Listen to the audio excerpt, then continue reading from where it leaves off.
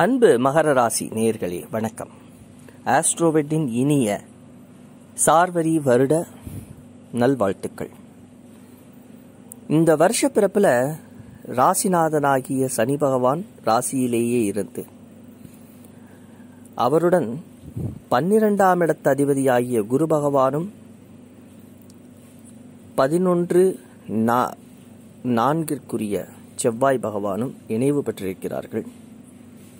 மூன்றாம் இடத்தில் புத பகவான் நான்கில் சூரிய பகவான் ஐந்தாம் இடத்தில் யோகாதிபதியாகிய சுக்கர பகவான் ஆறில் ராகுவும் பன்னிரெண்டாம் இடத்தில் கேது பகவானும் சந்திர பகவானும் இணைந்து இந்த வருடத்தை உங்களுக்கு துவங்குகிறார்கள்.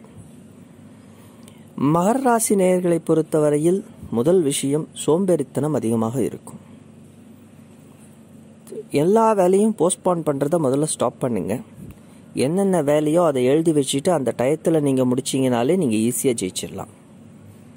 இரண்டாவது விஷயம் குழப்பமான மனநிலை. அதே நேரத்தில் ரொம்ப நெகட்டிவ் தாட்ஸ் வர்றது. இந்த நெகட்டிவ் தாட்ஸ்லேருந்து நீங்கள் வெளியில் வரணும். அதுக்கு நல்ல ஒரு மெடிடேஷனோ யோகாவோ பண்ணுறது நல்லது.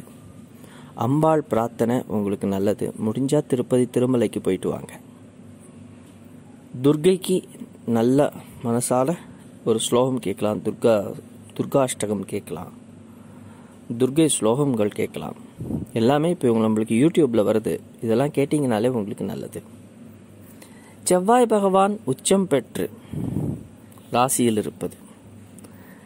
அவர் வந்து நம்ம உங்களுடைய ராசியை பொறுத்தவரையில் அவர் வந்து உங்களுக்கு எந்த விதமான நல்லதும் செய்ய மாட்டார்னாலும் இப்போ கிரக யுத்தத்தில் அவர் ஜெயித்த ஒரு நிலைமையில் இந்த வருடம் பிறக்கிறது. குரு பகவான் பன்னிரெண்டாம் இடத்ததிபதி. அவர் இணைவு அப்படின்னு சொல்லும் பொழுது இந்த பன்னிரெண்டாம் இடத்ததிபதி இணைந்திருக்கிறது நம்மளுக்கு அவ்வப்பொழுது செலவுகளை சுட்டி காண்பிக்கிறது. வீண் விரயங்கள் செலவுகள் அதுவனால ஒரு டென்ஷன் நெகட்டிவ் தாட்ஸு இதெல்லாம் வரும். மூன்றாம் இடத்தில் புத பகவான். நீங்கள் பேசுகிற ஒரு கம்யூனிகேஷனில் ஒரு த ஒரு தள்ளாட்டம் இருக்கும். அதாவது மாற்றி மாற்றி பேச வேண்டிய ஒரு விஷயங்கள் இல்லாட்டி இரட்டை தனமான விஷயங்கள் ஒரே நேரத்தில் ரெண்டு விதமாக பேசுறது இதெல்லாம் செய்வீங்க. இல்லைன்னா உங்களுடைய தம்பி தங்கைகள் இது மாதிரியான விஷயங்களை செய்வார்கள். உங்கள் அக்கா அண்ணன் இவங்களுடைய சப்போர்ட் உங்களுக்கு கிடைக்கிறதுக்கான வாய்ப்புகள் இருக்குது அதை நீங்கள் யூட்டிலைஸ் பண்ணிக்கலாம். நான்காம் இடத்தில் சூரிய பகவான் இது வந்து ஒரு சிறப்பு. ஏன்னா அவர் ஒரு பத்தாம் இடத்தை பார்க்கிறார்.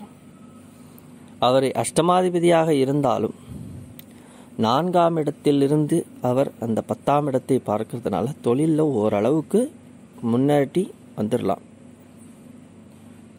அந்த அந்த தொழில் விஷயத்தில் வரும் பொழுது அனுசரணையாக நீங்கள் போகணும்.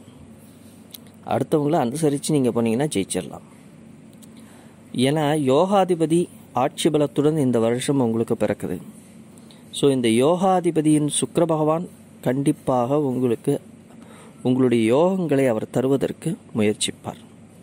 சனி பகவான் ராசி அதிபதியே பத்தாம் இடத்தை பார்ப்பதனால தொழிலில் எந்த விதமான பின்னடைவும் இருக்காது. குழப்பங்கள் இருக்கும் கொஞ்சம் தேக்க நிலை இருக்கும் ஏன்னா இதெல்லாம் உங்களுடைய சோம்பேறித்தனத்தினால வர்றது தான் உங்களுடைய எதிராள் உங்களுடைய பார்ட்னர் ஆகட்டும் உங்களுடைய ஹஸ்பண்டாக இருந்தால் ஒய்ஃபு ஒய்ஃபாக இருந்தால் ஹஸ்பண்ட் இவங்கெல்லாம் கொஞ்சம் ஸ்லோவாக தான் ஆக்ட் பண்ணுவாங்க. ஆனால் உங்கள் குழந்தைகள் மூலமாக உங்களுக்கு நல்ல வழி தெரியும் நல்ல வழி பிறக்கும். அவர்கள் உங்களுக்கு யோகத்தை தருவார்கள். ஸோ குழந்தைகள் உங்களுக்கு யோகத்தை தருவார்கள். ராகு பகவான் ஆறில் இருந்து அவரும் உங்களுக்கு நல்ல யோகத்தை தான் தரப்போகிறார் அதனால் நீங்கள் கவலைப்பட வேண்டாம். இப்போ ராகு பகவான் செப்டம்பர் மாதத்திற்கு அப்புறம் ஐந்தாம் இடத்திற்கு வரும் பொழுது கேது பகவான் பதினோராம் இடத்திலிருந்து கேது பகவானால் உங்களுக்கு உங்களுடைய வாழ்க்கை முன்னாடி போகும். ஒரு கணபதி ஹோமம் செய்கிறது அதே நேரத்தில் ஏதாவது ஸ்படிகம் கிறிஸ்டல் ஏதாவது வாங்கி யூஸ் பண்ணுங்கள் ஸ்படிக மாலை இல்லாட்டி அந்த கிறிஸ்டல் மாலைங்க ரோஸ் கிறிஸ்டல்ஸ் இது மாதிரியான மாலைகள் இருக்குது அதெல்லாம் வாங்கி யூஸ் பண்ணுறது உங்களுக்கு நல்லது. ஏழரை சனி நடக்குதுன்னு பயப்பட வேணாம். ஏன்னா சனி பகவானுடைய ராசி இது. ஸோ அவர் வந்து உங்களுக்கு நல்லது தான் செய்வார். கவலைப்படவே வேண்டாம். லக்னம் இதை இது வந்து பொதுவான ராசி பலன். இதே நேரத்தில் உங்களுடைய பிறப்பு ஜாதகத்தையும் நீங்கள் எடுத்துக்கணும். ஸோ பிறப்பு ஜாதகத்தில் இது நடக்கின்ற தசாபுத்திகள் அதிலே அமர்ந்திருக்கும் பிளானட்ஸினுடைய எந்தெந்த இடங்களில் அமர்ந்திருக்கிறார்கள் அவர்களுடைய வேலை இதெல்லாம் ரொம்ப முக்கியம். அதை வைத்து தான் இந்த ராசி பலனையும் நீங்கள் எடுத்துக்கணும். வெளியூர் வெளிநாடு போவதற்கான வாய்ப்புகள் கிடைக்கும். கொஞ்சம் ஜாக்கிரதையாக போயிட்டு வாங்க. முடிந்தவரை குடும்பத்தில் கொஞ்சம் சந்தோஷமாக இருங்கள். அவங்களோட கொஞ்சம் அனுசரணையாக போங்க.